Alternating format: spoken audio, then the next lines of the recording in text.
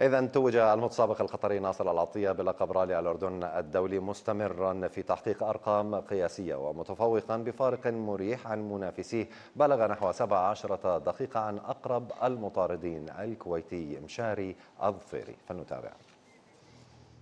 بطل الأرقام القياسية ناصر العطية يدمغ ختمه الخاص على كأس رالي الأردن الدولي للمرة الرابعة عشرة علما أن هذا هو الفوز الثامن والسبعون للبطل القطري. في جولات بطولة الشرق الأوسط للراليات. حسم العطية لقب الرالي لصالحه برفقة ملاحه الفرنسي ماتيو بومن.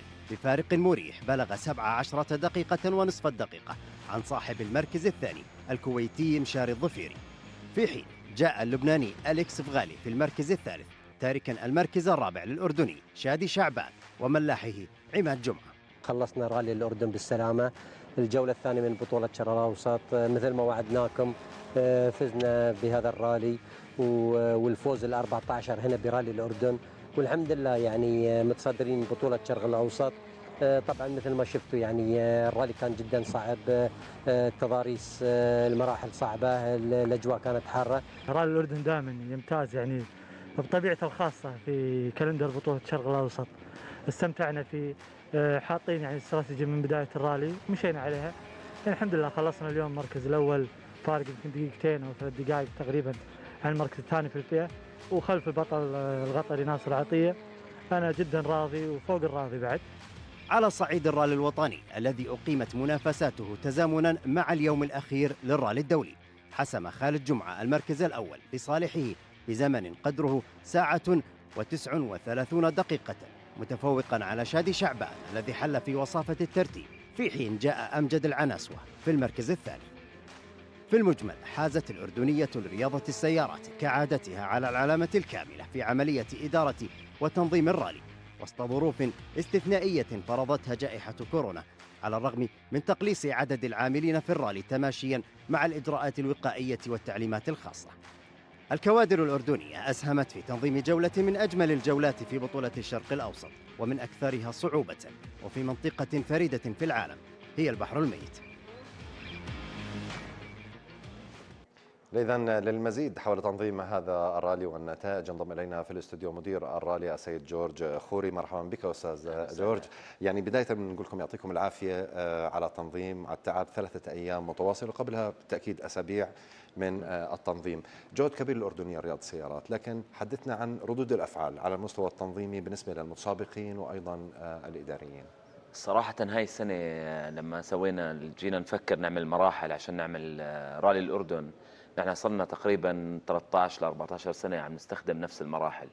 فصار في نوع من التعويد من قبل المتسابقين على المراحل الموجودة.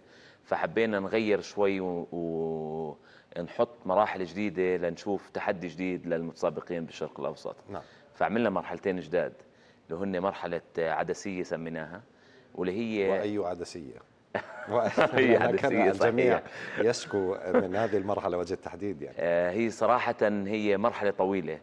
وعلى حسب ما سمعنا من المتسابقين وعلى حسب تقييم الاتحاد الدولي آه، لرياضة السيارات ال FIA لما كانوا موجودين. هاي المرحلة it's WRC stage غير إنها من فيها مناطق سريعة آه، بدها يعني الواحد يسوق يستخدم مخه وهو بسوق لأنه كثير فيها curves slippery كثير آه، بدها تكتيك لتقدر توصل من البداية للنهاية بدون ما يصير عندك أعطال. نعم. آه، المرحلة الثانية كانت اللي هي جوفة اللي هي تقريبا جزء منها عكسها مع جزء من مرحلة شونة. نعم. والمرحلة المهمة اللي كانت برالي الأردن اللي صرنا بنحاول نسويها ثلاث أربع سنين اللي هي مرحلة نهر الأردن.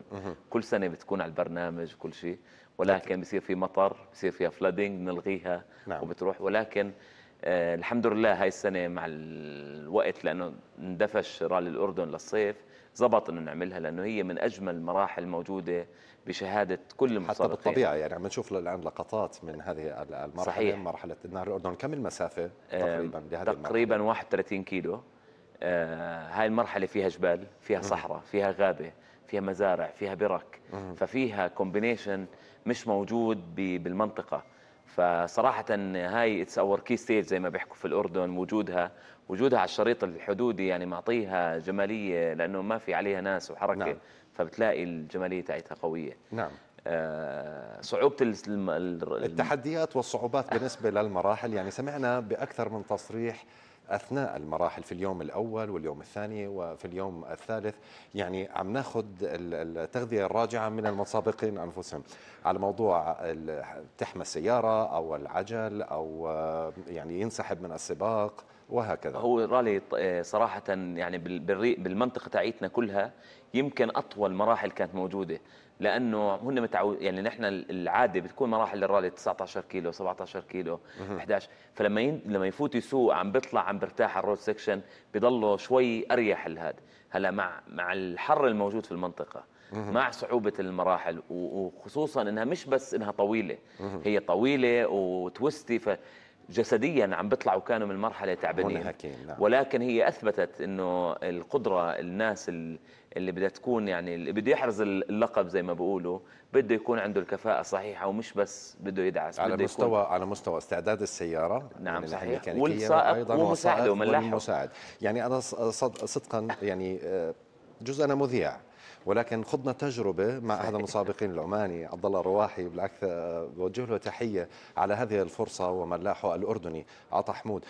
حقيقة في صعوبة بالغة في- سواء في الطرق في أيضا في موضوع ال- ال- السلامة العامة الإجبارية يجب أن تكون لدى السائقين خلال لأنها حقيقة خطرة جدا وتحتاج إلى مهارة عالية. هي ثواني آه، يعني هي الفكرة منها نحن دائما بيجوا بيقولوا لنا إنه أنتم عم بضلكم آه، تعقدوا الموضوع أو بتحطوا علينا pressure نشتري equipment زيادة وهذا. نحن دائما بنحكي للمتسابقين.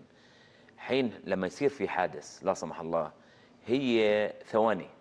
يعني إذا ما كان هو مستعد هو زي أكنه بيشتري بوليصه تامين يعني إذا ما كان مستعد بالطريقة الصحيحة هو راح ينأذى. يعني مثل ما حدث مع المسابق العماني. قبل بنفس اليوم آه، ال- الانطلاق. صحيح. يعني آه، خلصنا خلصوا مرحلة عدسيه بنهاية عدسيه عندنا الملاح آه، آه، صار عنده هبوط عام من الحرارة من التعب من هذا فبتلاقيه آه، تعب. هلا هذا الحكي مش إنه ما بيصير بيصير. الجو حار آه، صار عندهم بنشر بالمرحلة صار في جهد جسدي. آه، درجه حرارة على أي عاليه بعدين جوا؟ السيارة يمكن 60 كانت جوا السيارة. نعم. يعني في داخل السيارة. فيعني صعبة. يعني هي فيها مجهود آه، بالإضافة إلى اللباس الإجباري اللي هو طبعا في ال fire rated وفي و- ومع الشوب هذا كله مشكلة. هلأ الجزء الثاني من التحدي كابتن اللي هو هاي الرياضة بتحكمها قوانين. يعني عندنا اليوم إذا بنتفرج على ال RC 4 عندنا كان آه، هنري car number 4 وكان عندنا عاصم. آه، الفرق كان ال technical part. لعبوا ب ب- أو صار عندهم وهن بيصلحوا بالسيارة جزء بال sealing اللي بنعمل على المحرك والهذا. نعم. طلعوا disqualified فيعني هي الرياضه هي combination physical جاهزيه المتسابق الجسدية جاهزية الملاح نعم. القدرة على أخذ الملاحظة السيارة وجاهزيتها والصيانة تاعيتها وال- وال plan تاعيتها والشغله المهم القوانين والالتزام فيها لأنه ممكن تكون أسرع واحد أحسن وقت كل شيء وتصفي بلحظة برا السباق لأنه في صار breach لهي القوانين إحنا. آه، بنبارك للمسابقين الذين فازوا وحظ أوفر لمن لم يحالفه الحظ في إكمال هذا السباق الصعب في جولته في جولته. الثانية في الأردن وهنيئا لكم أيضا التنظيم وهذا ليس بغريب عنكم بصراحة شاهدنا بأم عيوننا آه، سواء الباها الأردن وسباقات آه، المحلية صراحة هي. collective يعني نعم. هي هذا مجهود جماعي هو فريق كبير بيشتغل من عليه. المتطوعين من المتطوعين من من أجهزة الدولة المختلفة. من الاردني لرياض السيارات. فهو فريق كبير بيشتغل على الموضوع. في عندنا مقسم في ناس pre اللي هن قبل الحدث في ناس بداخل الحدث. فهدول الناس كلهم الله يعطيهم العافية. وجهودهم هي إنه نحط الأردن دائما زي ما بنحكي في الخارطة آه، رياضة السيارات واللي هي عم تردف علينا بتحسن السياحة ال awareness للبلد والشغلات. المهمة نتمنى لكم التوفيق ويعطيكم ألف تسلم. عافية مدير الرالي سيد جورج خوري شكرا جزيلا لك.